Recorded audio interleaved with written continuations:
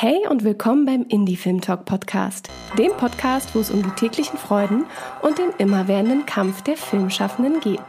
Viel Spaß!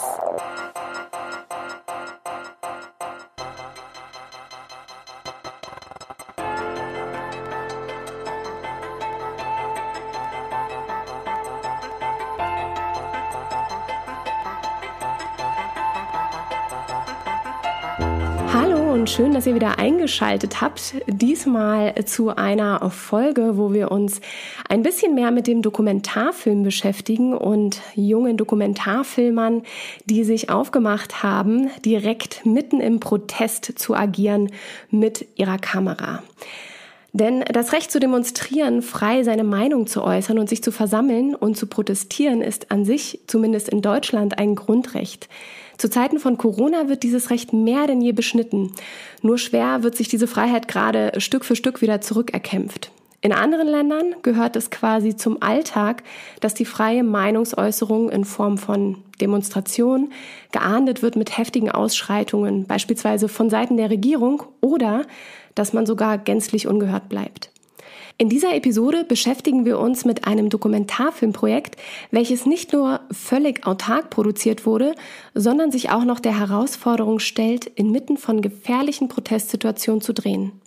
Die drei porträtierten Aktivistinnen aus dem Hier und Jetzt senden mit ihrer Haltung eine klare Botschaft an die Bürgerinnen und Bürger ihres Landes sowie an die Kinder der Zukunft.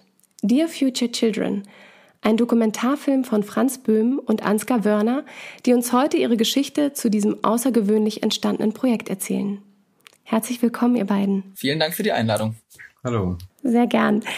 Wir haben es ja beim Indie Film Talk Podcast immer so, Leider sitzen wir ja nicht zusammen, sondern wir sind zugeschaltet. Ihr beide seid aber gemeinsam in München.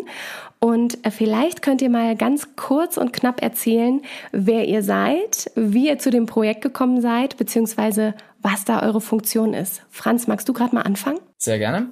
Ja, wir sind gerade in München. Ähm, hier findet der Bildschnitt für unser Projekt Die Future Children statt. Ähm, ich bin Franz, ich bin der Regisseur des Projekts, habe es gemeinsam mit Ansgar ähm, im Mai 2019 ins Leben gerufen. Ich selbst ähm, wohne seit ungefähr einem Jahr in London, ähm, wo ich bei einer Dokumentarfilmproduktionsfirma gearbeitet habe, bevor wir uns dann in dieses Projekt gestürzt haben und haben es ja zu zweit ähm, auch gemeinsam mit unserem Kameramann Friedemann Leis äh, damals ins Leben gerufen und ich glaube wir drei waren so die ersten wichtigen äh, Köpfe in diesem Projekt. Und dann ist noch Ansgar mit dabei. Genau, ich bin ähm, im August mit dazu gekommen. Nee. Echt? Ja. Also ich bin ganz schlecht in Zeiten. Jetzt müsst ihr noch mal überlegen. Jetzt ging die Zeit so schnell vorbei, weil ihr so intensiv miteinander gearbeitet habt. August 2019 oder August 2018? Wir haben ja jetzt 2020. Es war wohl schon der Mai. Wo es war der Mai 2019. Wo, wo ja. du es mir gepitcht hast. Ja, krass, ey. Das ist wirklich, ähm, aber es war, war dann eine krasse Zeit. Ähm, genau. Ähm, bin da dazu gekommen und dann ging es auch relativ schnell richtig los. Ne? Ansgar, was machst du ursprünglich? Also wie seid ihr äh, zusammengekommen, um ähm, ja auf die verrückte und spannende Idee zu kommen, zu sagen, wir machen ein Filmprojekt zusammen? Kommst du direkt aus der Filmszene oder was ist sozusagen dein Steckenpferd? Genau, also ich habe so wie viele ähm, relativ früh mit Filme an, Filmmachen angefangen. Ähm, und ähm, das hat sich dann immer weiter professionalisiert. Ähm, habe dann Nico Gersbauer kennengelernt, der ist jetzt bei uns auch als Co-Produzent mit dabei ähm, bei der Filmproduktion übergrafisch. Und ähm, dann haben wir uns ähm, bei einem Dreh in Freudenstadt kennengelernt, wo du Aufnahmeleitung gemacht hast und ich äh, zweite Aufnahmeleitung. Genau, und ähm, dann haben wir bei Good Luck, bei deinem ähm, Film zusammengearbeitet. Und ja, so kamen wir dann dazu, dass wir das jetzt auch zusammen gemacht haben.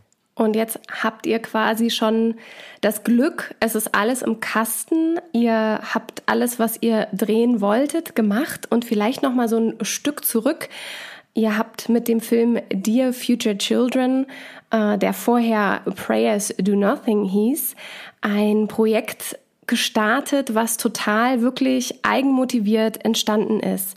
Franz, wann war für dich der Moment, wo du ähm, ja morgens aufgestanden bist und gedacht hast, okay, ich muss einen Film drehen, wo ich Aktivistinnen in Szene setze, begleiten möchte, porträtieren will, ähm, um zu zeigen, was es eigentlich für mutige Menschen auf der Welt gibt? Ich bin nicht morgens aufgestanden, ich bin nachts aus dem Pub zurückgekommen. Ähm, und die Geschichte dazu ist, dass ich ähm, denn das Phänomen von jungem Aktivismus schon ganz früh extrem spannend finde und es grundsätzlich immer faszinierend finde, wenn sich junge Menschen gegen eine größere ähm, Institution, Regierung oder Macht erheben. Ähm, Im Januar 2019 habe ich dann einen Bericht der New York Times gelesen, in dem es darum ging, dass es in der Geschichte der Menschheit noch nie mehr jungen Aktivismus gab als jetzt gerade. Und das fand ich extrem spannend. Es gibt ähm, in London ein monatliches beziehungsweise teilweise fast wöchentliches Treffen, wo sich junge Filmschaffende treffen in, in einem großen Pub und dann eben die ganze Nacht lang über Filmprojekte diskutieren. Ähm, und da gibt es immer die Möglichkeit, dass man auch ein eigenes Projekt vorstellt und äh, dann eben ganz offen, also es nicht pitcht oder verkauft, sondern einfach ganz offen darüber redet und auch über Probleme redet. Und da bin ich damals mit der Idee hingegangen, dass ich unbedingt was über jungen Aktivismus machen möchte und über ja viele ich sag mal, Nächte hinweg, auch mit Freunden in Stuttgart auch, ähm, kam dann so die Idee auf, dass man, dass es extrem spannend wäre, wenn man drei verschiedene Protagonisten oder Pro Protagonistinnen ähm, in drei sehr verschiedenen Ländern porträtiert, die alle in Bewegungen aktiv sind, die äh, sich stark unterscheiden voneinander ähm, und vielleicht nicht unbedingt eng miteinander verzahnt sind. Das war, glaube ich, die Grundidee. Und das hat dann natürlich ein paar Wochen, Monate gedauert, bis da mal so eine wirklich ausgefeilte Idee dahinter war. Ähm, und dann war ich aber früh von der Idee echt überzeugt und ähm, dadurch, dass die auch in so enger Zusammenarbeit mit, mit Freunden und Bekannten entstanden ist, ähm, das hat dann irgendwie das Selbstbewusstsein da auch nochmal gestärkt und dann, ja, wollte ich das unbedingt machen. Du hast gerade schon gesagt, es hat eine Zeit lang gedauert, bis das Konzept so weit war, dass man da auch wirklich auf die Reise gehen konnte, äh, sich auch die Kamera mit einpacken konnte, um wirklich äh, die jeweiligen Länder, die du bereist hast und die Aktivistinnen zu porträtieren. Ähm, wie kam es dazu, überhaupt die jeweiligen Länder zu finden, die du dir dann rausgesucht hast? Und ähm, vielleicht noch mal einen Schritt zurück. Ähm, was passiert in eurem Dokumentarfilm Dear Future Children eigentlich? In dem Projekt verfolgen wir drei junge Aktivistinnen, die jeweils in verschiedenen Protestbewegungen in Hongkong, Uganda und Chile seit Tag eins dabei waren und wichtige Rollen einnehmen. Das heißt nicht immer, dass sie die Anführerinnen sind, aber da einfach, dass sie viel Zeit mit der Bewegung verbringen, dass sie sehr intensiv dabei sind. Und wir verfolgen diese drei jungen Aktivistinnen ähm, mit der Kamera und beobachten ganz genau, was sie eigentlich motiviert in diesen Protestbewegungen, ähm, welchen Herausforderungen sie sich stellen müssen, welche Konflikte sie haben und auch wie moderner Aktivismus in den jeweiligen Ländern funktioniert und was für eine Rolle eben junge Menschen da spielen. Ähm, und ich glaube, oder die, die Leitfrage unseres Projekts ist eben, welchen Einfluss der Aktivismus auf das Leben junger Menschen haben kann oder hat. Und dann der wichtigste Teil des Projekts, würde ich behaupten, war die Vorbereitung. Ähm, das war auch sehr lange und sehr zeitintensiv über verschiedene Recherchewege äh, habe ich mich selbst über Monate hinweg über jungen Aktivismus und jungen Protest sehr genauestens informiert. Im Juni 2019 sind dann ja die Hongkong-Proteste, ähm, also die aktuellen Hongkong-Proteste entstanden. Das war zwar hm, von Experten vorhersehbar, aber dann für die normale Presse doch ein, ja, viele sagen, unvorhersehbares Ereignis. Und ähm, deshalb haben wir dann natürlich schnell realisiert, dass das eigentlich genau unser ähm, Thema ist, was da passiert. Also sprich junge Menschen, die für einen, für, für ihre Überzeugungen eintreten ähm, und ihren Kampf auf die Straße bringen und ins Internet und äh, eben ganz eine ganz moderne Form des jungen Aktivismus finden. Und genau das haben wir auch in Uganda gefunden mit Hilda, unserer Protagonistin dort, die dort den ugandischen Ableger von Fridays for Future gegründet hat, aber auch davor schon Klimaaktivistin war. Und in Chile, wo Rayon an der Frontline steht, wenn es darum geht, für mehr Gerechtigkeit und ähm, eine gerechtere Verteilung des Einkommens in dem Land zu sorgen. Ansgar, du hast gerade gesagt, du bist ähm, schon ins Projekt gestartet, da war schon sehr viel da. Ähm, wie war denn deine Position? Also was hast du getan, um das Projekt weiter zu unterstützen? Was waren deine, äh, deine Tätigkeiten und ähm, was ist sozusagen jetzt gerade deine, deine Funktion, dieses Projekt weiter voranzubringen? Wie habt ihr gemeinsam gearbeitet? Genau, ich habe dann in der Produktion, bin in der Produktion eingestiegen. Ähm, genau, dann davor ging es natürlich um viele Dinge, ähm, wie beispielsweise ähm, zum einen Kalkulation, also man muss natürlich wissen, was kosten die einzelnen ähm, Drehblöcke ähm, und dann auch dahingehend, ähm, wie sind wir da, gehen wir in, die, in der Finanzierung vor? Ähm, wir haben uns zum einen Co-Produktion dazu geholt, eine Co-Produktion, ähm, und zum anderen haben wir eben auch die Crowdfunding-Kampagne dann ähm, im Laufe der Produktion gestartet. Ähm, genau, und sind so, das war, denke ich, schon ein wichtiger Teil, um das Projekt auch zu realisieren, beziehungsweise ähm, das so auf den Weg zu bringen, wie es wie es jetzt läuft. Und ähm, genau, das waren so, und ja klar, im Ausland drehen, das ist erstmal erstmal eine Herausforderung, aber ähm, wir sind da einfach zielstrebig ähm, auf, ja, auf die Ziele, auf die Drehs zugegangen. Ähm, Genau, weil, und ich glaube, am Ende war es gen, genau richtig, dass wir gesagt haben, wir gehen jetzt nach Hongkong oder ihr geht jetzt nach Hongkong. ähm, ja, und ähm, Genau, du hast gerade gesagt, ihr geht jetzt nach Hongkong, denn ihr wart in einem relativ mini, mini kleinen äh, Set unterwegs mit einer ganz kleinen Crew. Franz, wie sah das genau aus? Du hattest drei Kameramänner, die du dir aussuchen konntest und dann gab es noch einen Setrunner und nein, ihr wart in einem sehr, sehr kleinen Team unterwegs. Wie, wie sah das genau aus vor Ort? Genau, ich äh, habe drei Kameramänner und ich habe mich dreimal für den Friedemann entschieden. ja. Nee, also ähm, genau, wir waren tatsächlich nur Kameramann, sprich Friedemann Leis und ich. Und das war aber auch genau die richtige Entscheidung. Ähm, weil dadurch konnten, also wir hatten, waren dadurch sehr flexibel. Friedemann und ich haben davor schon Good Luck gemeinsam gemacht, haben uns, verstehen uns immer noch extrem gut und haben wie so eine Art Mindmeld, wenn es um, ums Film geht, wie so eine Gedankenschmelze. Wir denken an, wir haben die gleichen Ideen und wissen gegenseitig auch, wie wir die Ideen äh, umsetzen wollen und erreichen wollen.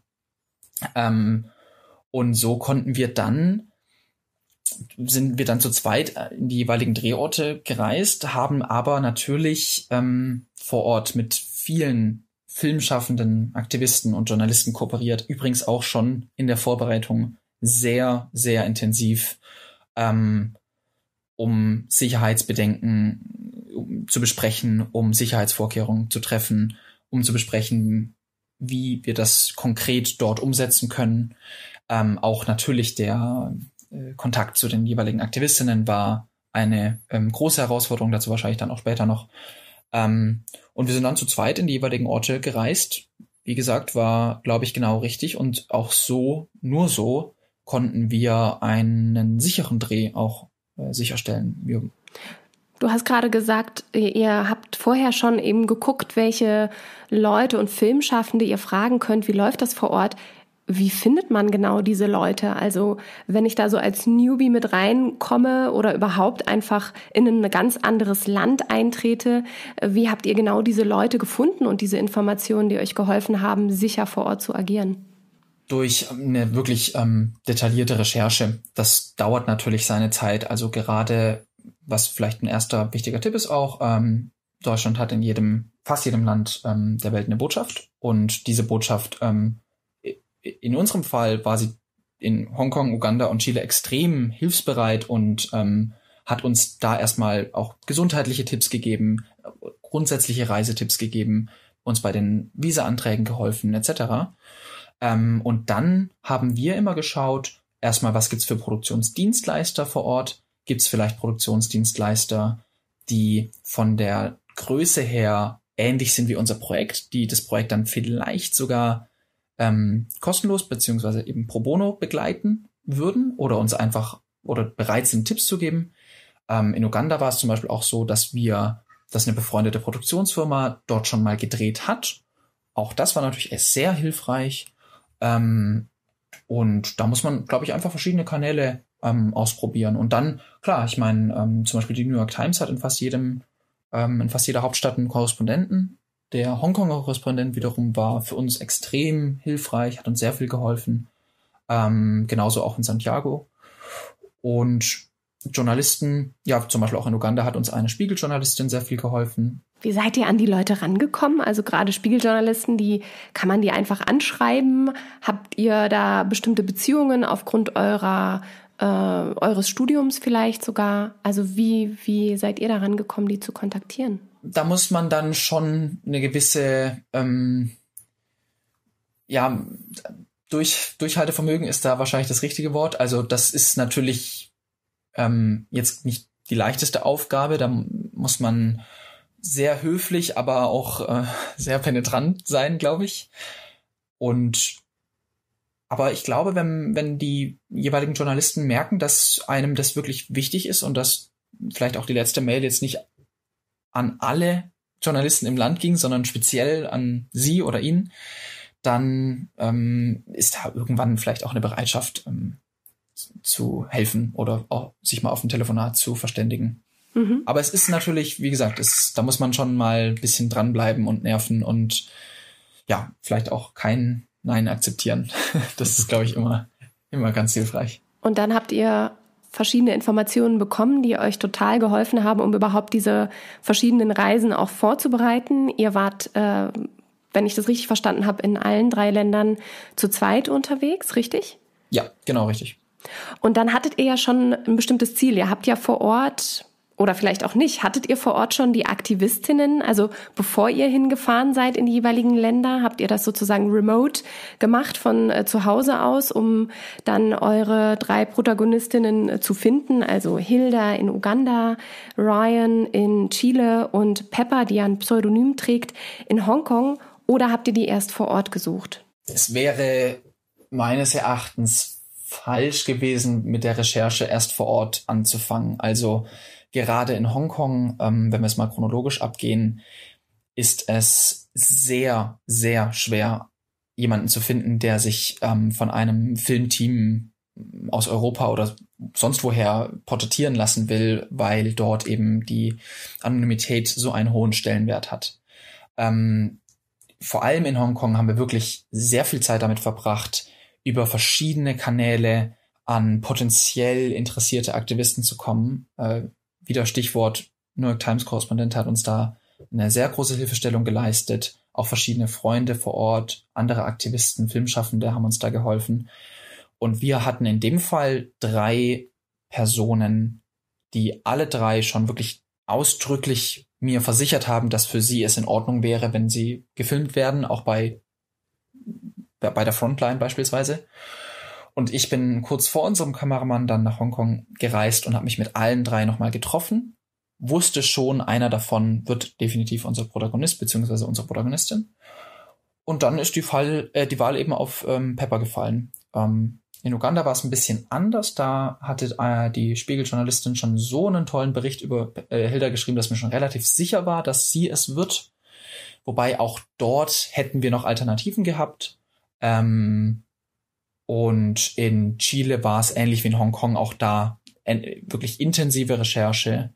Ähm, das ist dann auch mal in dem Fall lästig, dass man einfach über einen längeren Zeitraum niemanden findet und niemanden findet und irgendwie findet man vielleicht dann jemanden, der vielleicht dazu bereit wäre, aber irgendwie nicht ganz so gut passt, weil er vielleicht oder sie noch nicht so lange dabei ist oder so. Und ja, wir hatten aber auch das Glück und eben das tolle ähm, Team auch, beziehungsweise die tollen Unterstützer, die uns da immer wieder äh, Hilfestellung geleistet haben, ähm, vor allem im Bereich der Journalisten. Nun sind die Journalisten ja eine Sache, dass man eben schon weiß, äh, wo man sich hinwenden muss, wen man fragen kann, direkt schon eben seine jeweiligen Protagonistinnen ähm, als Ansprechpartnerinnen hat, um da auch wirklich im Vorfeld schon zu schauen, wen porträtieren wir. Ihr habt komplett autark angefangen. Also äh, ihr hattet an sich erstmal gar kein Geld, so wie man es vielleicht von anderen Produktionen kennt, wenn man schon mehr im Netzwerk unterwegs ist.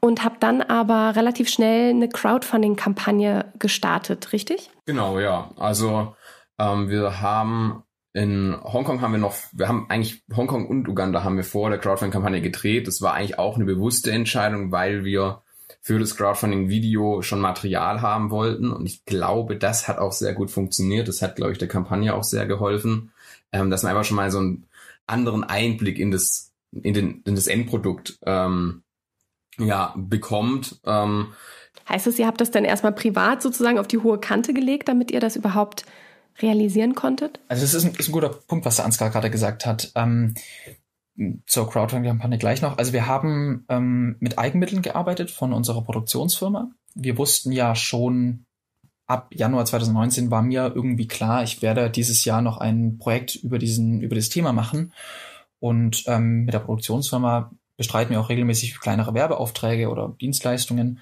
Da hatten wir sowieso schon was angespart. Das war, kann man ja sagen, in der Höhe von, ich glaube, ungefähr 3000 Euro.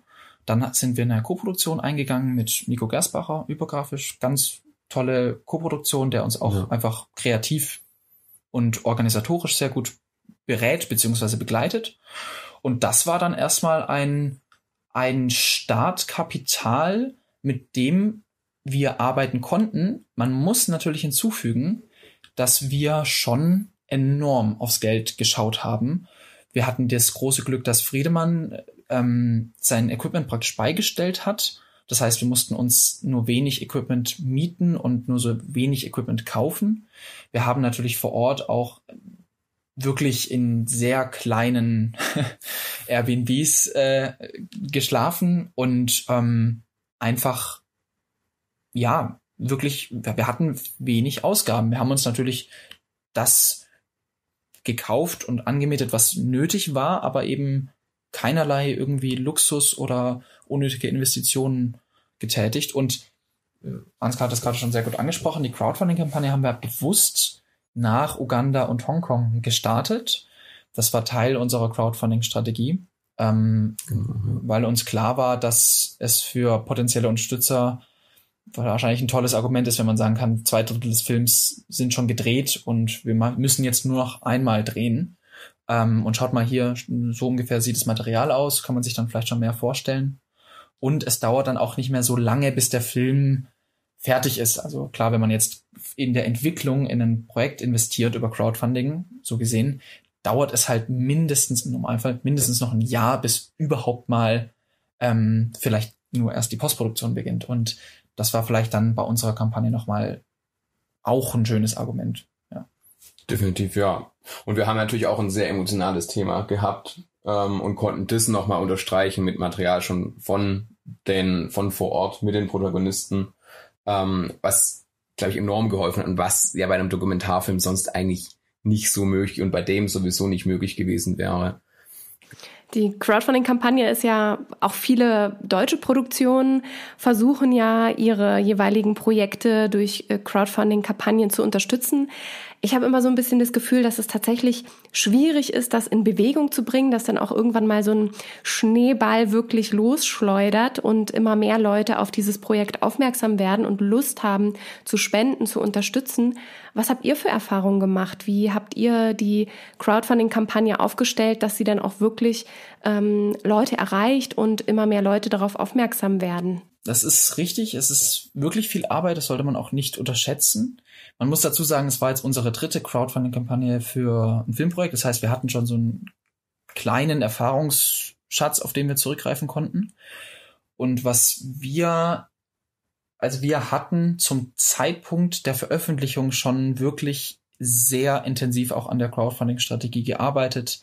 Wir hatten, ähm, was ich jeder Kampagne immer raten würde, auch Notfallkontakte, die halt gesagt haben, hey Leute, wenn im, irgendwie zwei Tage vor Finanzierungsziel ihr euer Ziel noch nicht erreicht habt, würde ich es kurz voll machen, nur dann müsstet ihr mir das Geld vielleicht irgendwie mal wieder zurückzahlen oder irgendwie müssten wir uns dann auf einen Deal einigen. Das heißt, da hatten wir eine gewisse Sicherheit und wir haben die Crowdfunding-Kampagne lange im Voraus angekündigt. Wir hatten, äh, unser Team hat da einfach gute Arbeit geleistet. Ähm, und viele wussten schon im Voraus, ah, da wird eine Kampagne kommen.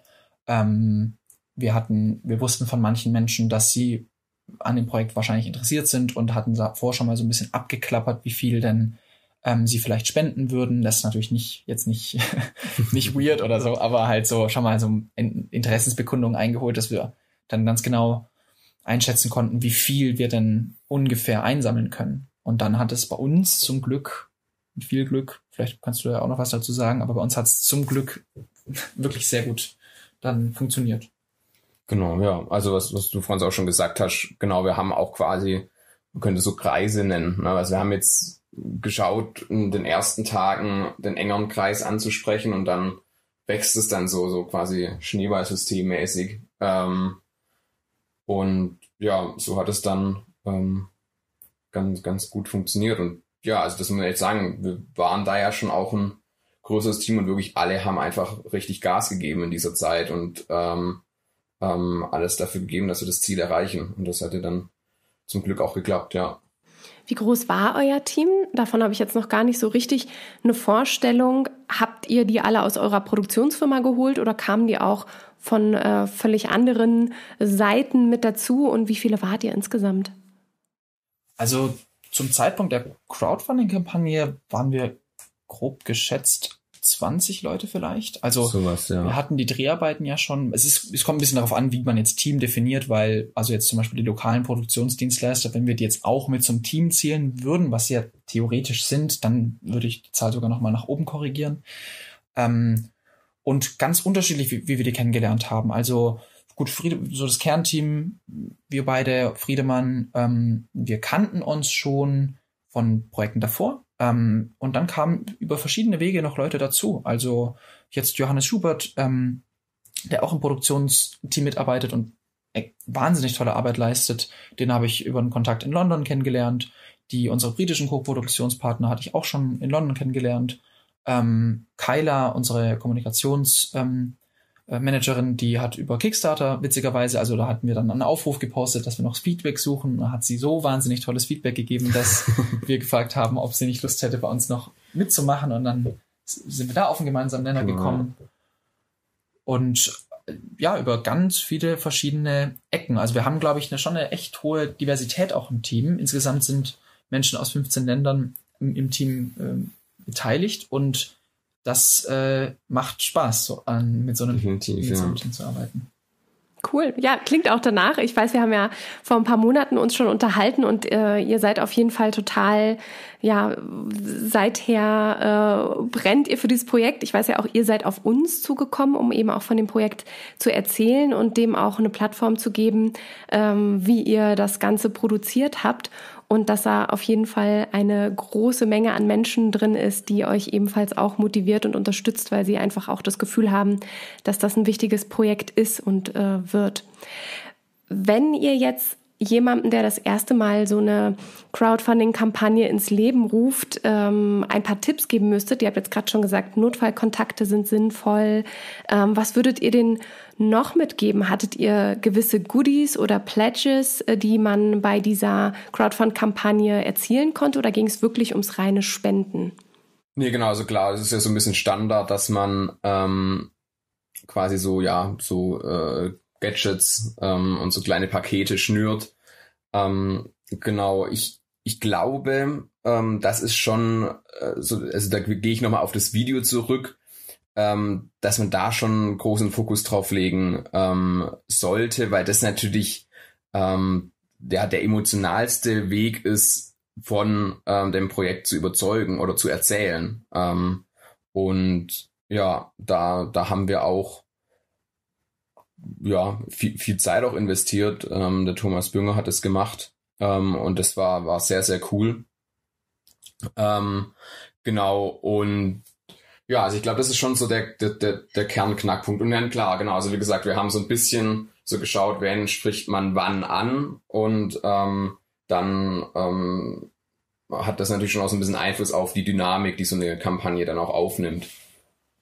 Ansgar untertreibt ja ja auch gerade maßlos. Also Ansgar hat sich auch sehr viel Mühe ähm, gegeben mit der Vorbereitung der Verbreitung sozusagen. Ähm, eine Crowdfunding-Kampagne ist wirklich viel Arbeit und es ist immer falsch zu denken, dass man die jetzt einfach mal veröffentlicht und dann wird, wird es schon. Also es ist ja. auch, glaube ich, wirklich falsch zu denken, dass ja, wenn man die halt auf Kickstarter veröffentlicht, dass dann Leute kommen von überall her aus, aus der Welt und auf einmal spenden. Das, das ist eine Illusion meines Erachtens, vor allem bei Filmprojekten. Also wenn es jetzt um Designprodukte geht, die man sich praktisch darüber dann kauft, dann ist es vielleicht was anderes, aber bei Filmprojekten muss die Community schon davor aufgebaut sein. Wir hatten natürlich auch den Vorteil, dass wir in den jeweiligen Orten, wo wir davor gedreht haben, Dänemark, Hongkong, Uganda, ähm, und die Leute auch schon darauf aufmerksam machen können. Wir wussten damals schon, dass eine Crowdfunding-Kampagne kommt, war natürlich Teil der Strategie.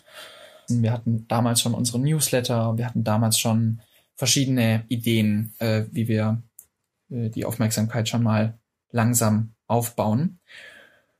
Und ja, also ich glaube, ausgefeilte Strategie vor der Veröffentlichung. Mit, mit der Veröffentlichung muss eigentlich schon klar sein, dass die auch finanziert wird. Sonst finde ich, macht ähm, ja, sonst hat man vielleicht noch nicht die beste Strategie gefunden. Also eigentlich, wir wussten schon immer ziemlich genau, wie viel wir zu welchem Tag haben sollten oder haben werden. Dank, wie gesagt, toller Vorbereitung. Ähm, und am Ende hin wurde es dann nochmal deutlich mehr, als wir jetzt erwartet hatten. Wir mussten ja dann sogar ein zweites Finanzierungsziel eröffnen. Ähm, und klar, die Gadgets, die du kurz angesprochen hattest, auch die sind natürlich ähm, wichtig. Da muss man sich Gedanken drüber machen, coole Ideen finden. Ähm, was hattet ihr für coole Ideen? Ja, ich glaube, bei Filmprojekten, was immer cool ist, sind Filmposter und ähm, dann natürlich auch Einladungen zu Teampremieren.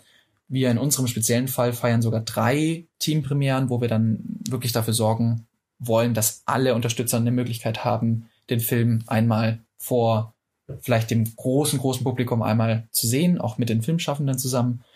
Ähm, und dann haben, haben wir im Team ein großes Brainstorming gemacht. Dann hatten wir noch zum Beispiel, was vielleicht noch ganz, ganz cooler Tipp ist, wir hatten eine Belohnung, die nur in den ersten sechs Tagen verfügbar war.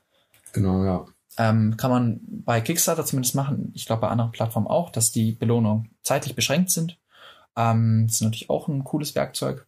Was habt ihr freigestellt für die sechs Tage, für die ersten sechs? Was konnte man da, was konnte man da bekommen? 50 Euro ähm, das Filmplakat, Einladung zur Teampremiere, Download-Link zum Film, Making-of-Film und Updates. Ich glaube, die genau. Sachen.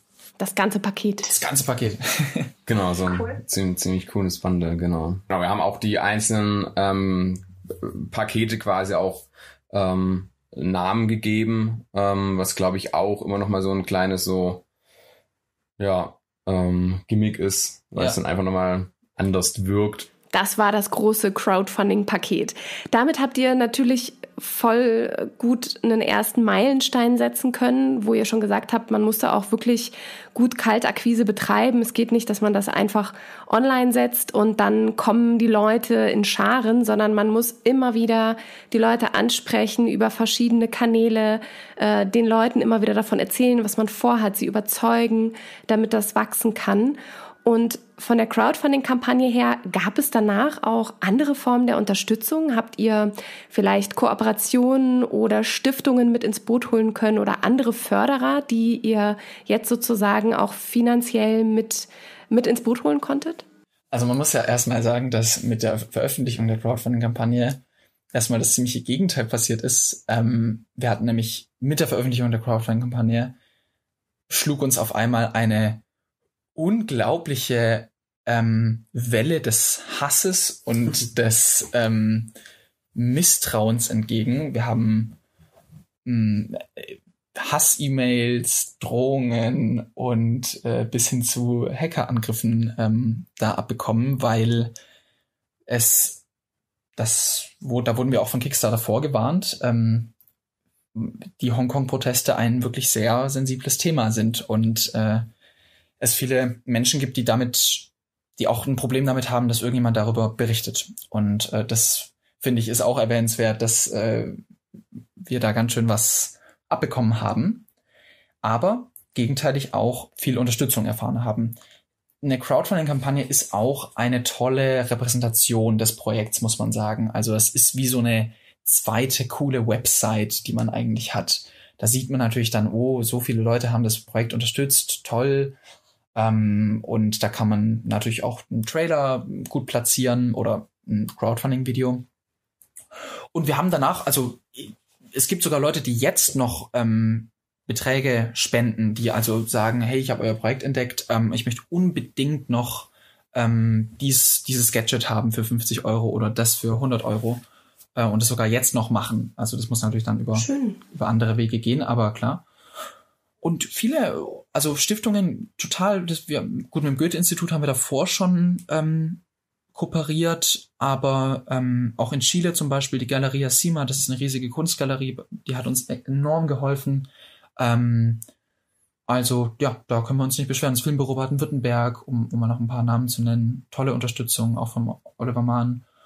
Ähm, Jugendstiftung Baden-Württemberg, Bürgerstiftung Gerlingen. Also das, ich glaube, da kommt dann schon was, wobei es auch da jetzt nicht ist, dass, dass das ein absoluter Selbstläufer war. Also das ist dann, hat meist dann Ansgar halt organisiert, dass die das dann sehen oder ins Postfach bekommen oder so. Also das ist jetzt nicht so, dass dann einfach so Leute das Geld rüberfliegen lassen, sondern man muss schon immer wieder äh, anklopfen und äh, schauen, ob man in eine Kooperation kommt in irgendeiner Form.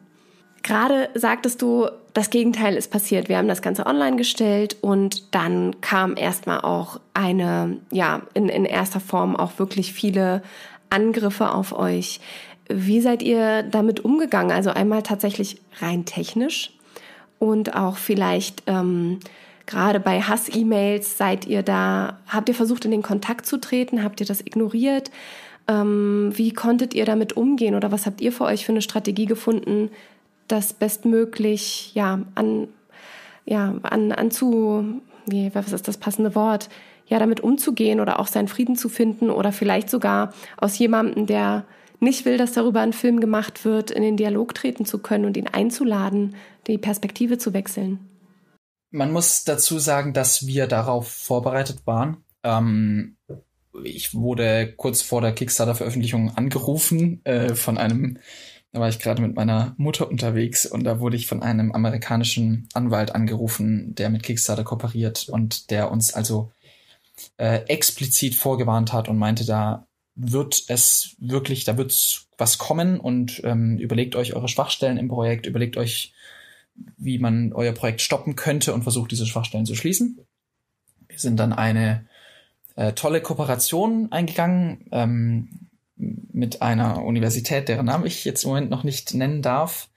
Ähm, und konnten dann mit jungen Studenten aus dem IT-Bereich, mit jungen Jurastudenten ein tolles, erstmal für uns internes Netzwerk aufbauen, das ähm, einerseits solche Angriffe zurückverfolgen konnte, das unsere Daten schützen konnte und auch juristische Möglichkeiten uns immer wieder vorgelegt hat. Ähm, dadurch haben, ja, konnten wir, wie gesagt, erstmal das sensible Filmmaterial auch schützen und ähm, konnten dazulernen. Also wir haben da versucht, so viel wie möglich daraus zu lernen. Ähm, ich muss ehrlich sagen, klar, es ist dann schon mal beängstigend, wenn jemand schreibt, ähm, Franz Böhm, dann meine Adresse und dann halt irgendwie, ja, deine Familie wird es bereuen, wenn du dieses Filmprojekt weitermachst. Boah, krass. Ja. Andererseits muss man auch dazu sagen, nach dem, was wir bei den Drehs erlebt haben, war das eher noch äh, die leichtere Kost sozusagen. Und ähm, deswegen, wir haben da von Anfang an, das Team war da völlig geschlossen und hey, wenn hier unsere Fabian Lieb, unser Produktionsmanager, die nächtelang durcharbeitet, um, um die Kickstarter-Kampagne noch besser zu machen, dann ist ihm ziemlich egal, wenn irgendjemand damit ein Problem hat. Dann ist es vielleicht eher für ihn ein Zeichen, dass, dass wir das richtige Projekt. Dass es sein muss, ja. Nur noch mal, um das auch greifen zu können. Ähm, Du hast gerade schon gesagt, man musste das Filmmaterial schützen, ihr müsstet, musstet euch vor Hackerangriffen schützen, es gab auch Drohungen. Das heißt, was waren so die, die Sorgen, was im schlimmsten Falle passieren kann?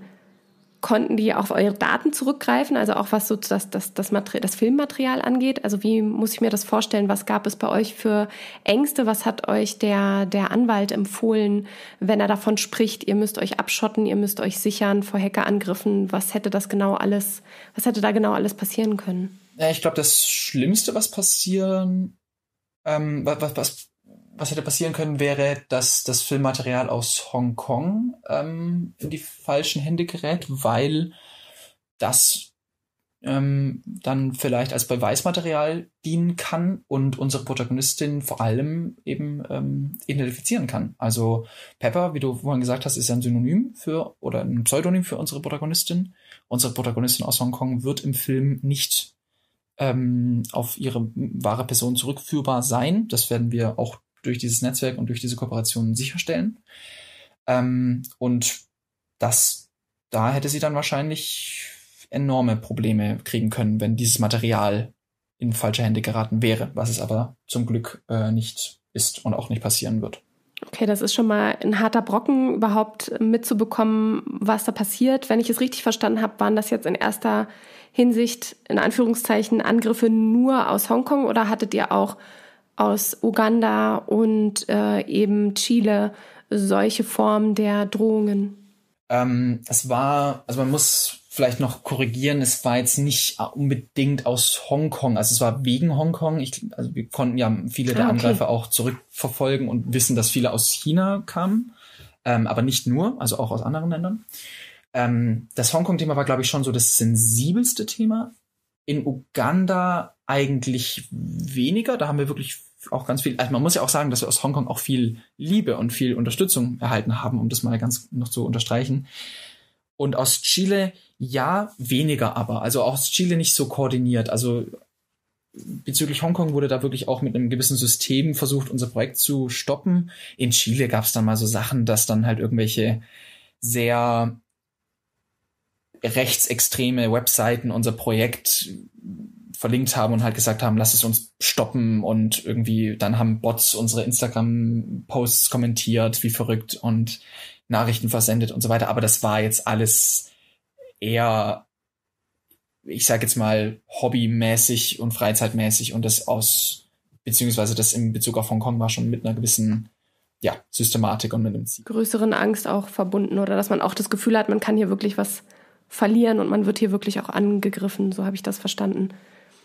Genau, wie gesagt, also mit der Angst, ähm, wir hatten großen Respekt davor. Ähm, ich glaube, Angst und Furcht wäre in dem Fall der falsche Weg gewesen. Ähm, ich glaube, in, bei solchen Sondersituationen, und das hat unser Team halt einfach einwandfrei gelöst, muss man halt sagen, strategisch vorbereiten, absichern. Ähm, und wir haben tausendmal geprüft, wie unser Material wo liegt. Wir haben uns, wie gesagt, mit einer tollen Universität haben wir da eine Zusammenarbeit eingegangen und ähm, die Sorgen von denen auch ernst nehmen und wenn gerade die halt auf bestimmte ähm, Themen hinweisen, dann unbedingt darauf reagieren. Ähm, und dann kann man sich gegen sowas auch wehren.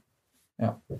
Gleichzeitig finden wir es aber auch wichtig, dass man da jetzt nicht äh, sich von denen irgendwie äh, zum Aufgeben zwingt. Ja, eben. Also das ist für Pressefreiheit muss man manchmal eben auch äh, kämpfen. Aber das heißt nicht, dass der Kampf nicht richtig ist. So wie es auch eure Aktivistinnen tun, die ihr direkt äh, besucht habt und äh, vor Ort porträtiert habt. Lasst uns mal ein bisschen in, äh, in, direkt in die Dreharbeiten schauen. Wann habt ihr die verschiedenen Drehblöcke gesetzt? Also wie lang wart ihr wann in Hongkong beziehungsweise in Uganda und Chile? Und wie habt ihr vor Ort gearbeitet? Also wo wart ihr als erstes? Fangen wir vielleicht erstmal so an. Wir waren zuerst in Hongkong. Ähm, wir waren bei jedem Drehort, glaube ich, zwischen fünf und sechs Wochen. Ich weiß es gar nicht mehr auf den Tag genau. Ja, circa genau. fünf bis sechs Wochen. Ähm, du meinst ja so ein bisschen, ein bisschen tagesablaufmäßig. Also wir haben uns immer daran orientiert, was unsere Protagonistin vorhatte. Ähm, normalerweise haben wir immer so ein bisschen die Woche durchgesprochen, was steht für die Protagonistin an, wo können wir dabei sein, wo müssen wir dabei sein, wo vielleicht eher nicht. Und ähm, hatten dann immer verschiedene Termine mit unserer Protagonistin. Wir hatten zwischendurch auch mal einen Tag nichts mit unserer Protagonistin gedreht. In dem Fall haben wir dann irgendwelche, irgendwelches anderes Material in den jeweiligen Orten gefilmt oder uns besprochen, Material gesichert. Wir mussten währenddessen ja auch die Produktion noch ganz normal vorantreiben. Wir hatten, Ansgar und ich haben telefonieren, telefonieren sowieso, glaube ich, seit Mai 2019 täglich. Aber ähm, wir hatten jeden Tag eigentlich ja dann verschiedene Aufgaben zu tun und dann natürlich in Hongkong, die Demonstrationen waren natürlich so ein bisschen das Herzstück oder auch der wichtigste Teil, beziehungsweise nicht mal unbedingt der wichtigste Teil, aber der intensivste Teil. Auf, darauf muss man sich natürlich dann schon wirklich detailliert und ausführlich vorbereiten, um das sicher vonstatten gehen zu lassen.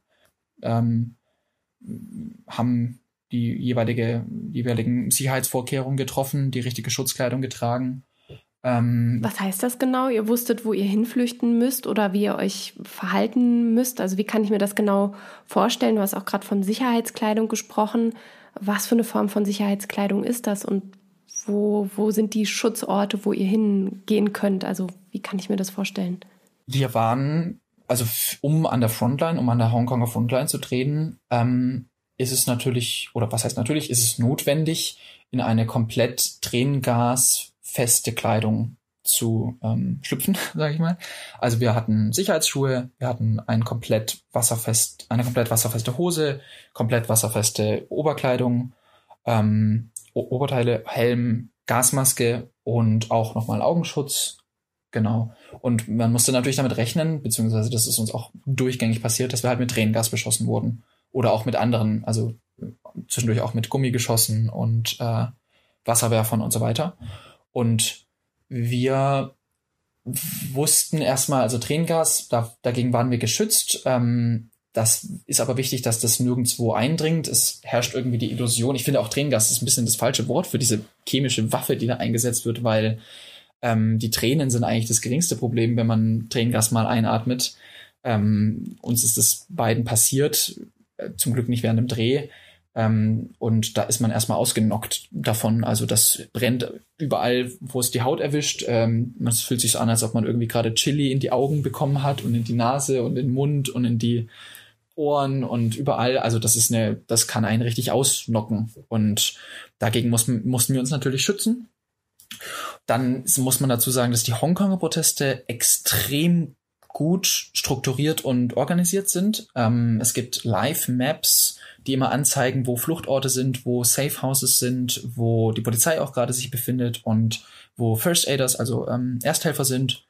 Ähm, was, was sind sogenannte, Entschuldigung, wenn ich dich unterbreche, was sind sogenannte Safe Houses? Sind das wirklich Mietshäuser, wo man reinrennen kann? Oder ist das eine kleine Hütte, eine Ecke oder wie, wie ist das zu verstehen? Genau, aber also, du hast eigentlich schon richtig gesagt. Ähm, es sind teilweise Menschen, die halt ihre Häuser zur Verfügung stellen für alle möglichen Protestierenden und auch Journalisten, die sich irgendwie kurz ausruhen müssen oder die irgendwie kurz, ich sag mal, Daten sichern müssen oder sich einmal die Augen auswaschen wollen, weil sie es erwischt hat oder so. Ähm, oder auch, ich meine, First Aider, ähm, also die Ersthelfer, die müssen teilweise mit brutalen Wunden kämpfen. Da ist es dann vielleicht auch einfacher, wenn man schnell den Verletzten in ein Safehouse trägt.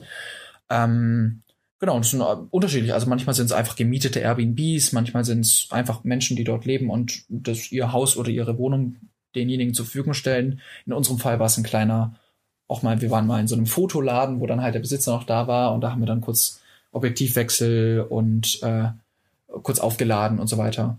Man muss sagen, das ist schon enorm kräftezehrend, die Protestierenden da äh, an der Frontline zu begleiten. Das ist extrem viel Gerenne und Rumgeducke und äh, man muss auch immer schreien, weil die Gasmasken so heavy sind. Es ist allgemein, die Kleidung ist relativ schwer und ähm, dann muss man versuchen zu verstehen, was die Polizisten einem sagen und was die Aktivisten einem sagen. Da muss man sich relativ oft erklären. Man muss extrem viel mit Menschen sprechen. Also Friedemann und ich waren nach jedem, nach jedem, nach jeder Demo erstmal wirklich komplett fertig und hatten immer so ein Ritual, dass wir danach äh, immer noch ein Bier getrunken haben in so einem Kiosk und da waren dann meistens auch andere Journalisten, mich mit einem Belgier auch immer sehr gut verstanden und der war auch immer nach, nach so einem Protest ist man erstmal das ist der krasseste Sport überhaupt, glaube ich, weil da ist man wirklich fertig. Also da geht dann nichts mehr und hat am nächsten Tag auch überall Muskelkater.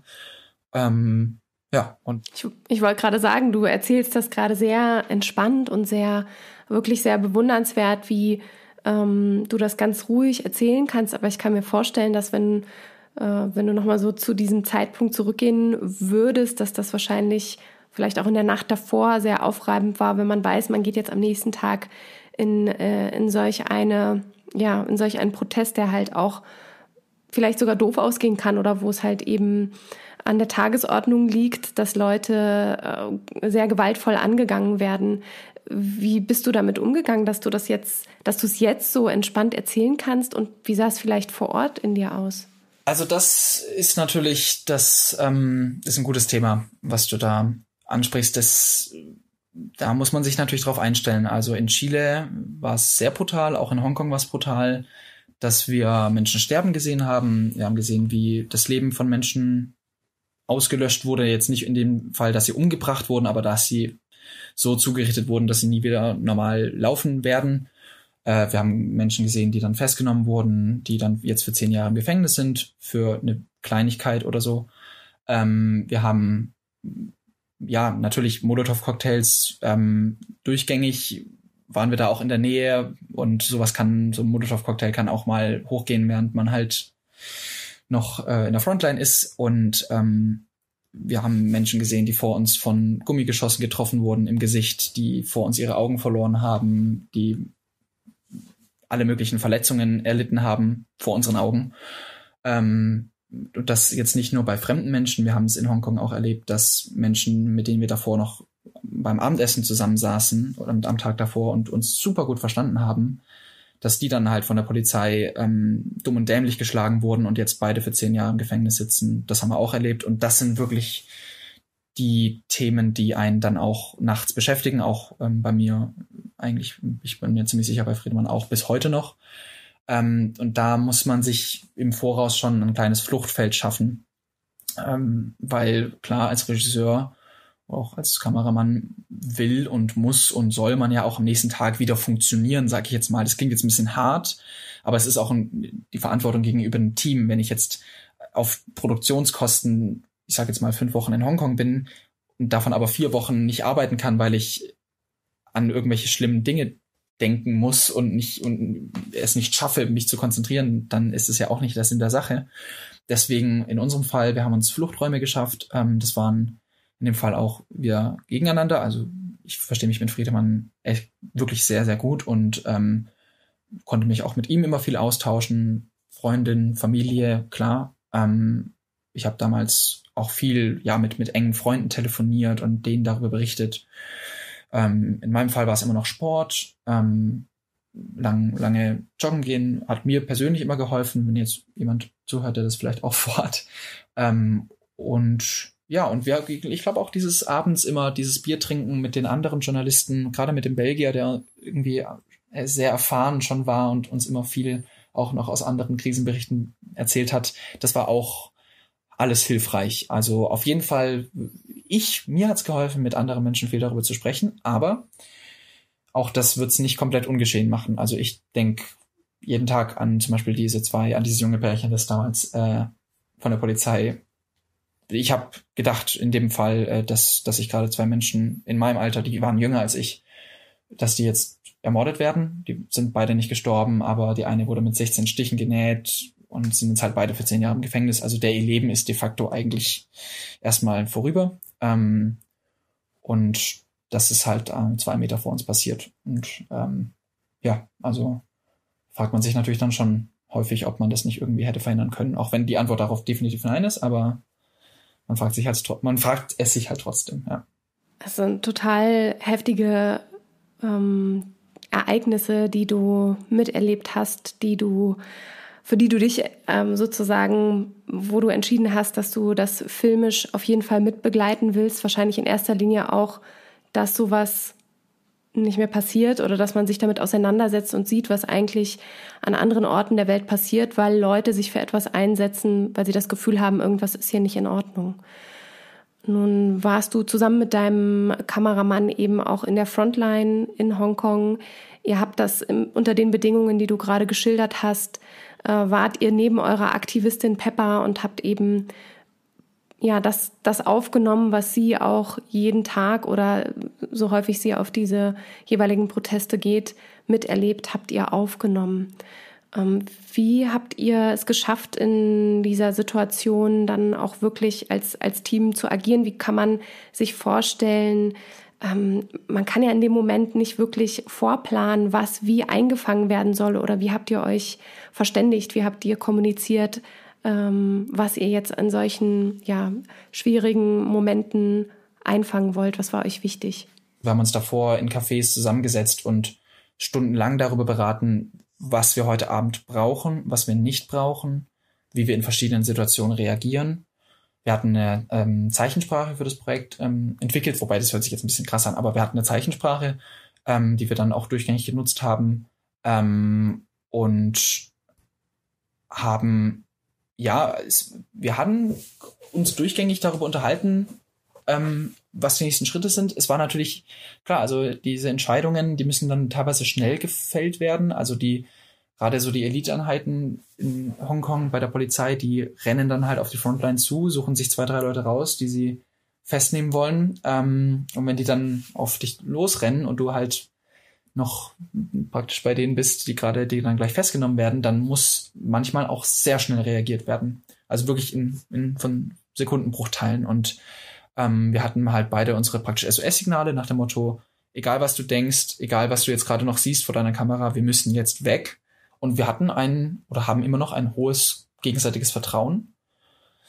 Und ich glaube, das war die Grundlage. Ich Hattet ihr das Gefühl, aufgrund des Equipments, was ihr mit dabei hattet, also gleich noch die Frage, was für ein Equipment hattet ihr dabei, aber dass ihr dadurch auch eine gewisse Zielscheibe seid für die Polizisten?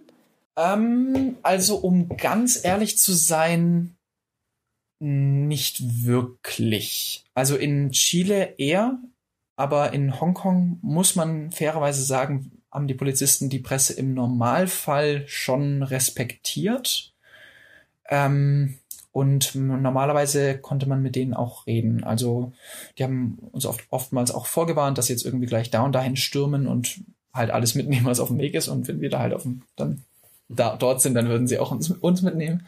Ähm, aber wir waren ganz klar als Presse gekennzeichnet, hatten Presseausweise. Ähm, und das hatten wir davor auch mit der deutschen Botschaft eben abgeklärt. Also ähm, da muss man sagen, uns gegenüber war die Polizei vor allem in Hongkong immer einigermaßen respektvoll. In Chile sah es ein bisschen anders aus, aber auch dort hat es funktioniert.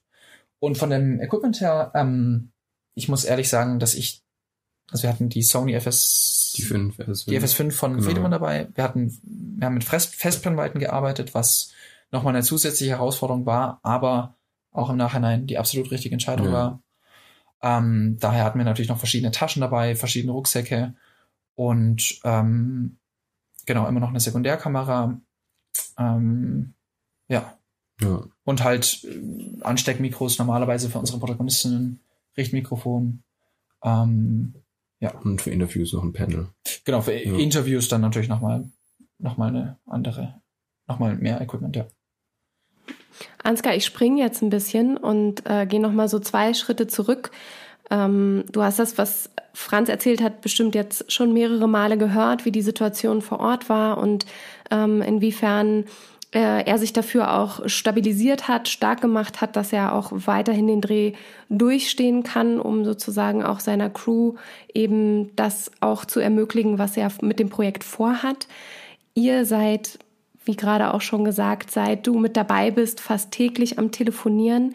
Wie war das für dich, wenn du aus der Ferne aus mitbekriegt hast, was jetzt gerade vor Ort Phase ist? Ähm, hast du dich da komplett emotional abgekapselt, um auch gut mit ihm weiter zusammenzuarbeiten? Oder wie, ja, wie, wie kann man sich das vorstellen vom, äh, von der Arbeit aus der Ferne raus? Habt ihr euch komplett darauf konzentriert, meine Funktion ist dieses und jenes? Oder ja, wie, wie sehr hast du mitgefiebert oder inwiefern konntest du dich auch ein Stück weit rausnehmen und sagen, äh, ich schaue jetzt in erster Linie auf mein Aufgabenfeld? Mhm, ja, also ich meine, es war ja von, von vornherein auch klar, dass es natürlich auch gefährlich werden kann, was es dann in bestimmten äh, Situationen auch äh, wurde. Wir hatten ähm, beispielsweise eine ähm, eine Gruppe, ähm, ich glaube Telegram, genau, wo wo die beiden einfach wieder, wenn wir wussten, die sind jetzt gerade draußen äh, drehen, ähm, dann haben die reingeschrieben, so jetzt gerade wieder alles cool, ähm, uns geht's gerade gut. Ähm, ich glaube, das war sehr cool so für für alle, die so ähm, ähm, quasi in, in Deutschland geblieben sind vom Team ähm, und natürlich auch sonst. Genau. Ähm, und ansonsten, genau, also wir haben parallel auch weiter dann den nächsten Drehblock vorbereitet. Ähm, insofern haben wir natürlich auch nebenher weitergearbeitet an der Produktion ähm, wir haben ähm, genau angefangen mit, mit, mit an der Finanzierung weiterzuarbeiten, also sprich Crowdfunding. Ähm, genau, also das war schon ein, ein enger Austausch auch in der Zeit ähm, in, in jegliche Hinsicht. Also klar, genauso, ähm, was geht da ab, weil natürlich, also man, man ähm, es, es ist schon was anderes ähm, als jetzt wir, wir drehen Dokumentarfilm in Deutschland. Also das, das wird eigentlich mit dem Film auch, auch mir so extrem bewusst, ähm, wo wir leben. Und das ist ein extrem, also eine sehr privilegierte Situation. Ähm, wenn, wenn, wenn ich die Erzählung vom Franz anhöre, wenn ich mir anschaue ähm, vom, vom Material, ähm, ähm, dann dann wird es einem einfach viel näher nochmal ähm, bewusst als jetzt in einem, in einem, in der Tagesschau oder so oder in, in Reportagen, was, was es auch für die Menschen bedeutet, da vor Ort, gerade für die jungen Menschen, für die ähm, Pro Protagonisten, für die Aktivisten, ähm, die wirklich für der Teil, ja, eigentlich alle drei für das kämpfen, was wir hier haben. Das muss man einfach sagen. Habt ihr das Gefühl, dass jetzt auch gerade, ähm, ich habe das, oder ich fange mal andersrum an, wir haben jetzt so die Corona-Phase hoffentlich in einem großen Teil hinter uns gebracht. Es gab ähm, ja eine Ausgangssperre, kann man gar nicht richtig sagen, aber es gab auf jeden Fall diese verschiedenen Einschränkungen hier in Deutschland. Und ähm, das erste Mal hatte ich das Gefühl, merke ich, was es eigentlich bedeutet, bedeutet, auf die Straße gehen zu dürfen und auch für seine Meinung einstehen zu können, demonstrieren zu dürfen. Und habt ihr das Gefühl, gerade vielleicht jetzt mehr denn je oder ähm, ihr habt euch ja an sich eben auch mit diesen verschiedenen Formen des Protestes beschäftigt in anderen Ländern, dass wir viel zu wenig darauf gucken, wie viel in, unseren, in unserem Land eigentlich möglich ist an Protest? Habt ihr das Gefühl, das wird auch zu wenig gewürdigt und vor allen Dingen sowas, was in Hongkong oder Chile passiert, viel zu wenig gezeigt in unseren Nachrichten? Also die Berichterstattung, ja, das, also ich kann verstehen, warum über Protestbewegungen in Uganda und in Chile ähm, jetzt nicht bei den 15 Minuten Tagesschau jeden Tag jetzt nicht unbedingt berichtet wird. Ich finde es natürlich schade. Ich muss aber schon sagen, ich kann es schon verstehen. Ähm, und wenn du sagst, dass wir, also ja, Deutschland ist ein enorm privilegiertes Land und all diese Privilegien, Privilegien, die wir ja haben, die davon träumen eben unsere Aktivistinnen auch. Das sagen sie witzigerweise auch ein paar Mal. Und auch wenn man in Hongkong mal fragt, ähm, ja, welches Land, in welches Land würdet ihr denn gerne fliehen oder in welchem Land würdet ihr denn stattdessen jetzt gerne leben, dann ist Deutschland da ganz, ganz, ganz oben mit dabei. Ähm, und ich bin mir manchmal nicht ganz sicher, ob ähm, allen bewusst ist, in was für einem enorm privilegierten Land wir hier leben und ähm, wie viele Probleme es in anderen Ländern gibt, die wir hier eben speziell nicht haben, eben weil Menschen sich dafür eingesetzt haben, sei es in der Politik, sei es in der Regierung oder sei es auch auf den Straßen. Ich finde es total krass, was ihr auf die Beine gestellt habt mit eurem Projekt und die verschiedenen Orte angefahren habt, die Leute entdeckt habt, wirklich auch total starkes Engagement gezeigt habt, überhaupt erst diese verschiedenen Aktivistinnen zu finden, äh, wie man ja gehört hat, was eben nicht einfach mal so funktioniert. Man muss dranbleiben, man muss hartnäckig bleiben und äh, man muss immer wieder anfragen, damit die Leute, die am anderen Ende der Leitung sitzen, auch merken, da ist es jemandem wirklich ernst. Nun seid ihr eben vor Ort mit den Aktivistinnen ins Gespräch gekommen und wie wie ist das vonstatten gegangen? Wie geht man in einem für sich erstmal fremden Land ab, auf einen Menschen zu, der ja eben sehr aktivistisch unterwegs ist und äh, zeigt dem, dass es einem wirklich ernst ist, dieses Projekt zu machen. Wie habt ihr die Beziehung zu den verschiedenen Aktivistinnen aufgebaut? Vielleicht auch auf der Grundlage, dass sie alle in drei ganz unterschiedlichen Ländern auch aufgewachsen sind. Ich glaube, ein Regisseur muss tausend Sprachen sprechen, auch wenn es nur in dem Fall Englisch ist. Ähm, früh verstehen, dass ähm, die jede dieser Protagonistinnen anders, ganz anders tickt und in einem ganz anderen Umfeld aufgewachsen ist, war sehr wichtig, um sie nachvollziehen zu können, um sie zu verstehen. Ähm, die Kommunikation mit denen ist sehr herausfordernd gewesen, aber nicht in dem Sinne, dass sie es uns herausfordernd gemacht haben, sondern dass wir uns einfach ja auf ganz andere Menschen einlassen mussten. Und klar, in diesen fünf Wochen oder in diesen sechs Wochen haben die jeweiligen Protagonistinnen ja auch extrem viel Zeit mit uns verbracht. Und es hat auch zu unserer Aufgabe gehört, bei Momenten dabei zu sein, wo sie vielleicht äh, jetzt tendenziell gesagt hätten, ja, muss jetzt nicht unbedingt sein. Ähm, also natürlich, wir haben uns immer an die Regeln gehalten. Und beim Stichwort Regeln, das war zum Beispiel etwas, was wir mit unseren Protagonistinnen gemacht haben, meistens schon sehr früh dass wir uns in einem Café getroffen haben und oder wo auch immer und ähm, gesagt haben, komm, wir schreiben mal ein paar Regeln auf. Ein paar Regeln für die Zusammenarbeit jetzt. Überleg dir mal, was dir wichtig ist. Ähm, und das hat uns geholfen, weil die Protagonistin dann, ich sage jetzt mal irgendwas, zum Beispiel gesagt haben, ja, ich möchte gerne, dass ihr immer noch mal kurz Bescheid sagt, wenn die Kamera läuft. läuft. Also nicht einfach irgendwie mitfilmt und ich weiß nichts davon, sondern sagt bitte immer noch mal, Achtung, die Kamera läuft. Das reicht mir schon. Und dann kann sie auch lange laufen, aber ich möchte es wissen. Und ich möchte auch, dass wenn ich zum Beispiel sage, Achtung, ich möchte jetzt nicht mehr, dass die Kamera läuft, weil ich jetzt beim Abendessen mit meinen Freunden bin, dann möchte ich auch, dass sich daran gehalten wird. Das war zum Beispiel eine Regel. Genauso konnten wir auch Regeln aufstellen. Ähm, oder so, ich sag mal, Richtlinien zur Zusammenarbeit. Ähm, zum Beispiel haben wir gesagt, für uns ist es immer cool, wenn du uns von Events, Treffen, Demos äh, möglichst früh Bescheid gibst. Natürlich können wir auch spontan irgendwo hinkommen, aber wenn zum Beispiel eine Demo ist, ähm, müssen wir uns halt dementsprechend vorbereiten, wir müssen dementsprechend das Equipment umrüsten, wir müssen uns anziehen dafür und so weiter. Es wäre immer cool, wenn wir sowas im Vorfeld wissen. Und das war einfach so ein offener Austausch, der hat ganz, also praktisch an Tag eins stattgefunden und das hat meistens schon sehr geholfen. Das würde ich auch immer bei allen zukünftigen Projekten versuchen zu machen. Und dann muss man halt, ja, die, die Sprache der jeweiligen Protagonistin sprechen. Ähm, und das heißt nicht, dass man sie manipuliert. Das wird irgendwie manchmal fälschlicherweise behauptet, sondern das heißt einfach nur, dass man Ideen anders vorstellt und äh, mit ihnen einfach halt ja anders umgeht. Und ähm, genauso wie wir halt bei Protagonistin A, sage ich jetzt mal, einfach sagen, Achtung und die Kamera läuft, würden wir halt bei Protagonistin B fragen, ist okay, wenn wir die Kamera jetzt anmachen? Ja, ah, okay, alles klar. Und sie läuft jetzt. So, das ist schon mal ein Unterschied. Das heißt, du meinst mit Sprache nicht wirklich die Landessprache, sondern auch wirklich zu verstehen, ähm, wie, wie sensibel ist die jeweilige Person und was braucht sie, um äh, sich bestmöglich in dem sozusagen im Auge der Kamera bewegen zu können, ohne dass sie sich beobachtet oder manipuliert fühlt. Meinst du das damit? Ja, genau, richtig. Und auch, ähm, wie sieht einen die Protagonistin? Ist die, geht die Protagonistin davon aus, dass wir jetzt eigentlich mega coole Freunde sind und wir einfach überall dabei sind? Oder sieht sie uns schon mehr als externe Menschen, die jetzt ihr Leben porträtieren?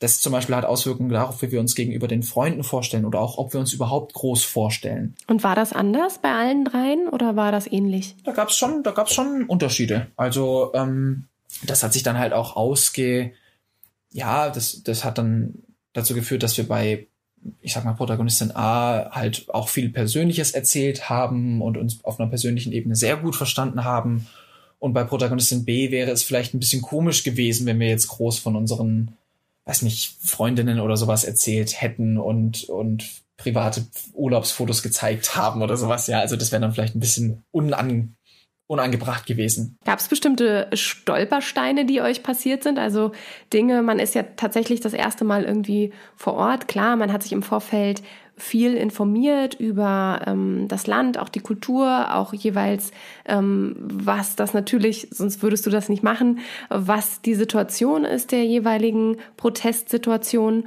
Und nun kommt man da hin und man will alles richtig machen und irgendwie gibt es da doch einzelne Stolpersteine, die passiert sind. Gab es die oder war das aufgrund der Aktivistinnen, die ihr gefunden habt, doch leicht mit reinzukommen und die haben es einem auch leicht gemacht, dass man auch gut ankommen kann?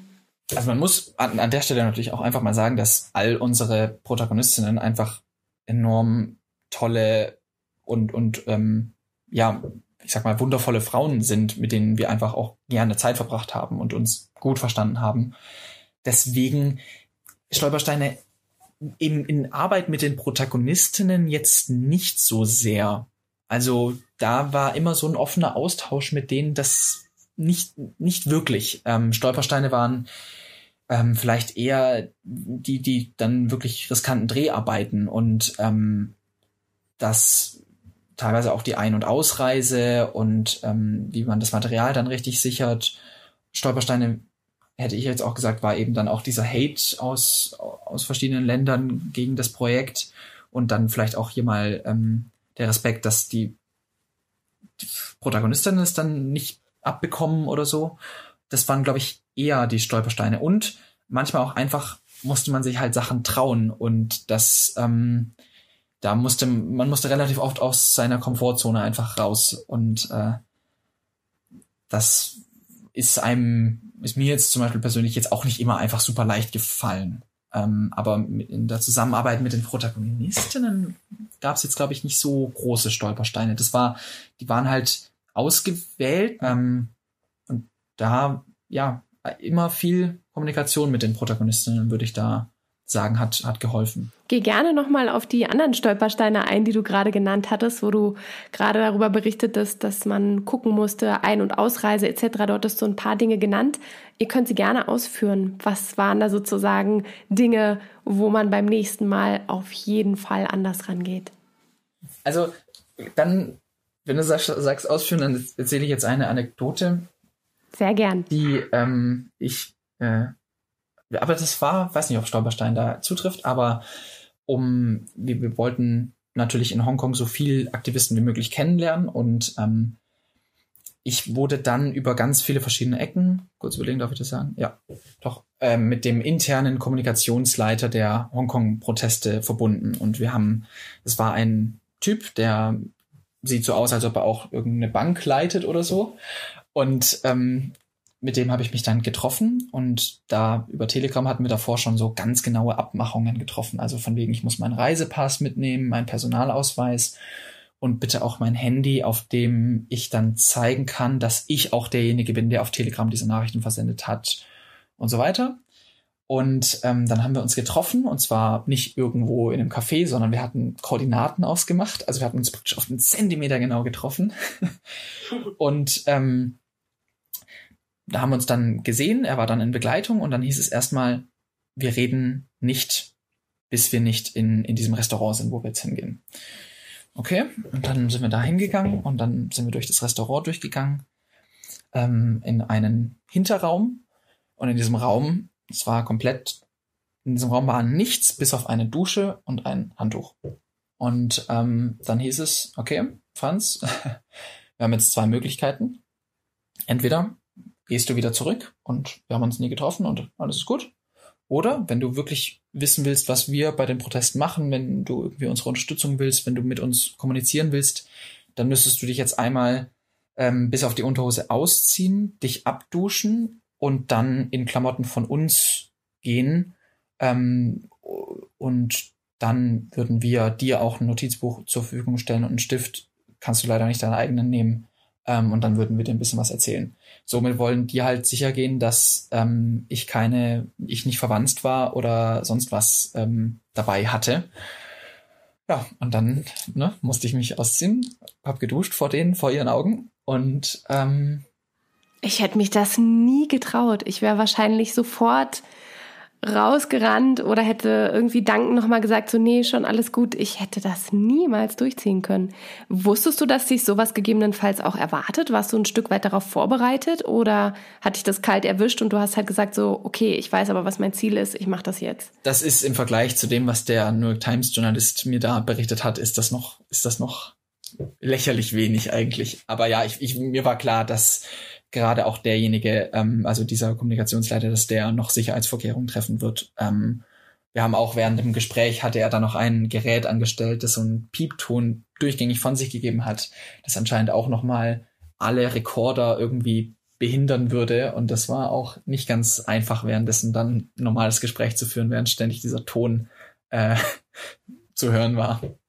Gab es noch solcher, ähm, solche Situationen, die passiert sind, wo du halt echt ja, im Moment erstmal schlucken musstest, bevor du dann weißt, was du als nächstes tust. Also Dinge, du sagst jetzt hier warst du ein Stück weit darauf vorbereitet, denn du hattest halt auch schon andere Geschichten gehört. Aber vielleicht gab es noch vergleichbare Situationen oder ja, Situationen, die dich ein Stück weit irritiert haben?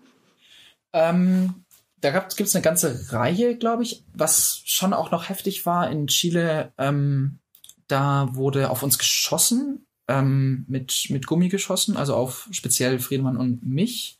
Das hatten wir so, hatten wir damals so nicht erwartet. Ähm, da waren wir halt auch bei der Frontline dabei. Wir waren wieder ganz klar als Presse gekennzeichnet. Und das hatte uns in Hongkong noch so einen gewissen Grundrespekt eingebracht. In Chile war das ähm, nicht so. Und da wurde dann, ähm, ich habe dann nur noch gesehen, wie der Polizist auf uns gezielt hat und ähm, mich dann umgedreht und wurde dann am Kopf getroffen ähm, von einem Gummigeschoss. Nee, Entschuldigung, nicht von einem Gummigeschoss, sondern von einer Tränengasgranate. Ähm, und das war heftig. Ich hatte natürlich Helm und auch ähm, Gasmaske und alles an ähm, und auch Sturmhaube und so weiter. Also das hat jetzt nicht zu einer Verletzung geführt, aber das Einschussloch im Helm ist da und das war dann schon wenn du sagst, Momente, die mich irritiert haben, ich hätte nicht damit gerechnet, oder das heißt nicht damit gerechnet, ich hätte nicht gedacht, dass wirklich ein Polizist sieht, dass wir Presse sind, seine Waffe auf unseren Kopf oder auf meinen Kopf richtet und abdrückt. Das hätte ich nicht gedacht.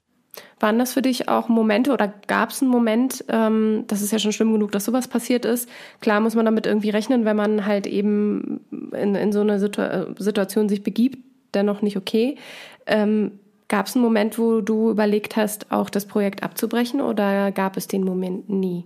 Oder zumindest die Dreharbeiten abzubrechen, wo du jetzt gerade bist, dass du sagst, okay, ich habe jetzt gerade das Gefühl, ich fühle mich nicht mehr sicher genug, ähm, ich muss das hier nochmal überdenken. Also, um ganz ehrlich zu sein, eigentlich nicht wirklich. Also nicht so, dass ich, ich habe nie ernsthaft drüber nachgedacht, das Projekt aus irgendeinem Grund zu stoppen. Klar, man hatte zwischendurch Angst oder Respekt, und natürlich bei einer Demo, dann sind wir, haben uns mal kurz zurückgezogen, sind dann wieder hin oder sind mal ganz nach Hause gegangen. Ähm, und klar, ich, in dem Moment, wo das Ding mich getroffen hat, das war schon irgendwie kurz so, oh, habe ich gerade richtig Scheiße gebaut, kann das sein? Aber ähm, eigentlich nie ernsthaft. Also, nee, nee, eigentlich nicht.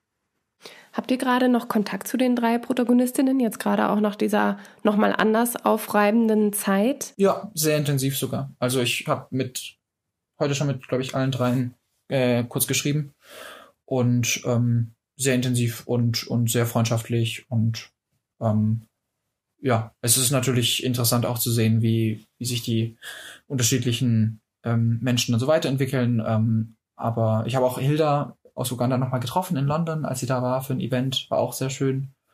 Ähm, aber ja, doch weiterhin sehr, sehr enger, sehr freundschaftlicher Kontakt. Wie können die jetzt momentan agieren als Aktivistinnen? Ist schwierig. Also ähm, in Hongkong sind die Proteste ja eigentlich komplett ähm, zusammengebrochen, weil ähm, Peking ein ähm, nationales Sicherheitsgesetz eingeführt hat für Hongkong, was die Proteste de facto eigentlich einfach komplett beendet. Das ist natürlich extrem demotivierend und im Umfeld von Pepper sind seitdem auch schreckliche Dinge passiert. Ähm, Freunde haben sich selbst umgebracht, ähm, Freunde wurden festgenommen. Und ähm, das ist natürlich sehr schwer. Zuletzt hatte die Hongkonger Protestbewegung eigentlich noch wichtige Wahlen gewinnen können und, und war eigentlich irgendwie immer so der Hoffnungsträger unter den Protestbewegungen. Hilft aber nichts, wenn eine Diktatur halt einfach entscheidet, das stoppen wir jetzt.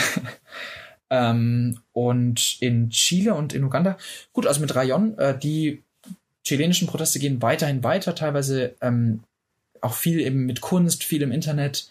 Ähm, sie versuchen sich teilweise auch an diese Regeln zu halten, an die Corona-Regeln. Manchmal gibt's dann sogar Abstandsproteste, also wo dann irgendwie so aufgemalt wird, wo man sein darf und wo halt nicht. Ähm, und in Uganda, gut, Hilda, ich meine, Fridays for Future in Uganda ist ja jetzt nicht darauf ausgelegt, täglich auf der Straße zu protestieren. Dass da Klimaschutz funktioniert ja auch weiterhin. Also zum Beispiel, sie hat ihren wöchentlichen, ähm, ihre wöchentliche Säuberungsaktion beim Lake Victoria, das kann sie ja weiterhin machen. Ähm, genau, also die sind eigentlich alle drei noch gut, gut beschäftigt. Ansgar, du hast jetzt ähm, während der Produktion warst du quasi derjenige, der äh, die Stellung gehalten hat in äh, Stuttgart. Dort ist sozusagen deine Basis und jetzt geht es ja langsam so in die letzten Züge von der Postproduktion. Ihr habt äh, soweit alles abgedreht, hattet das schon vor dem Shutdown im Kasten.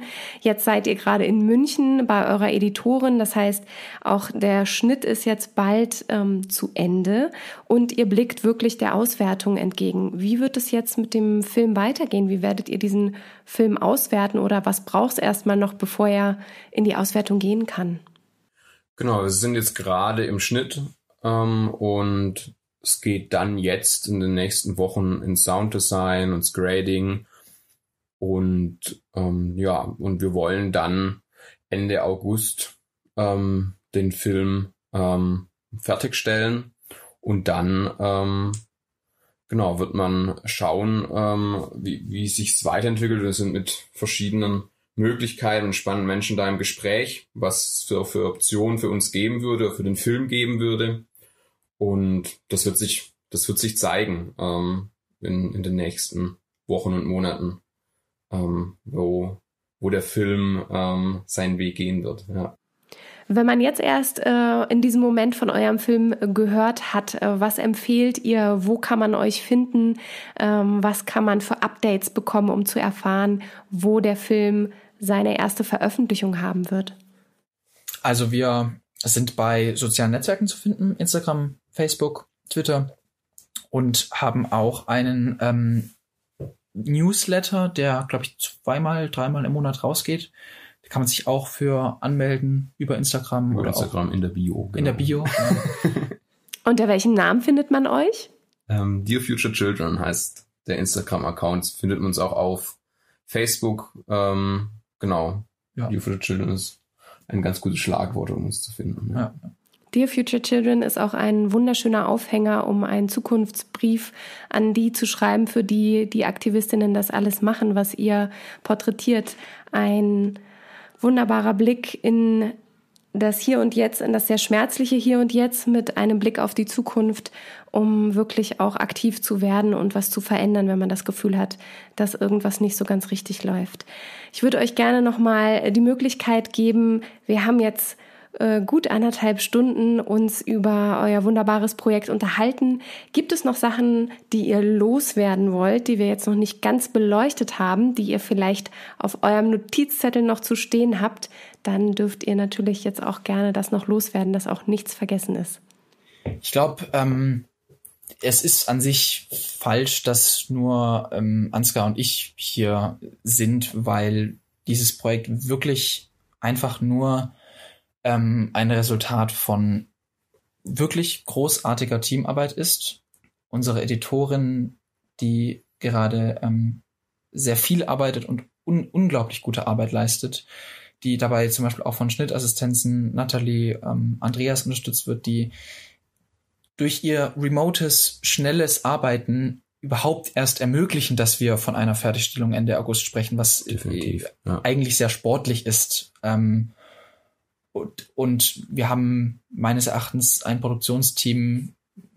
Es macht Spaß. Also ich freue mich morgens auf unsere Videokonferenzen mit.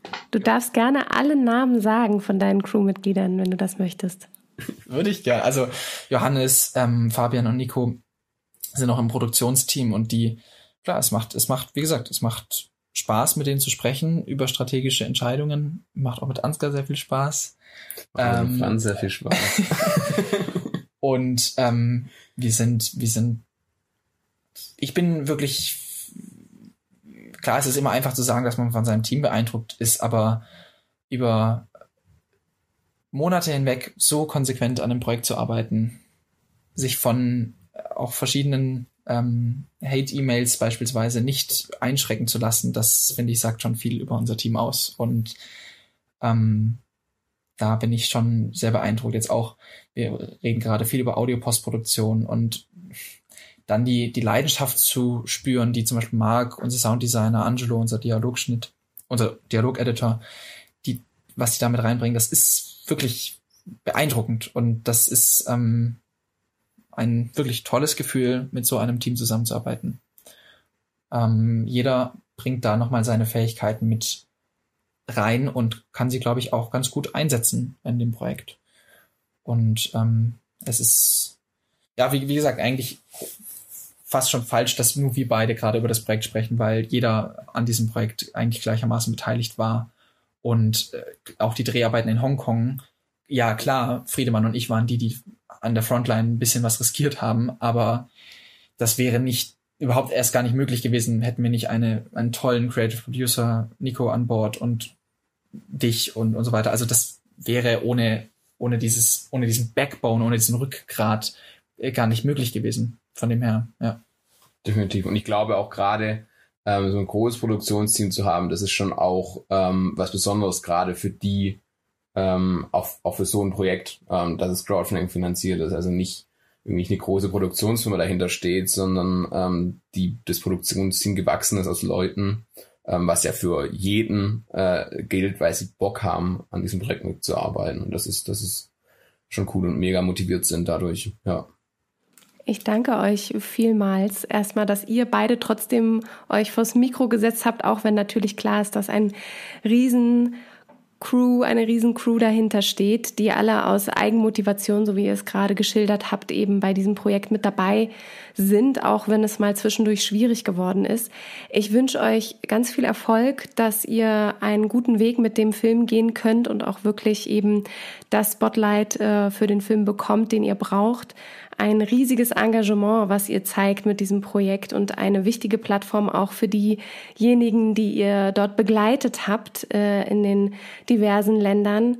Vielen Dank für den Einblick in eure Arbeit und die vielen Tipps und auch den Mut für andere Filmschaffende, die eben genauso wie ihr dokumentarisch arbeiten wollen in nicht so einfachen Gebieten. Vielen, vielen Dank an euch. Vielen herzlichen Dank, Dank für ja. die Einladung erstmal. Tolle Möglichkeit hier zu sprechen und ähm, haben wir natürlich sehr, sehr gerne getan. Ja. Für die Zuhörer und Zuhörerinnen draußen wünsche ich erstmal noch einen wunderschönen Start in den Tag, einen schönen Nachmittag oder vielleicht auch eine gute Nacht und wir hören uns das nächste Mal wieder. Bis bald. Ciao.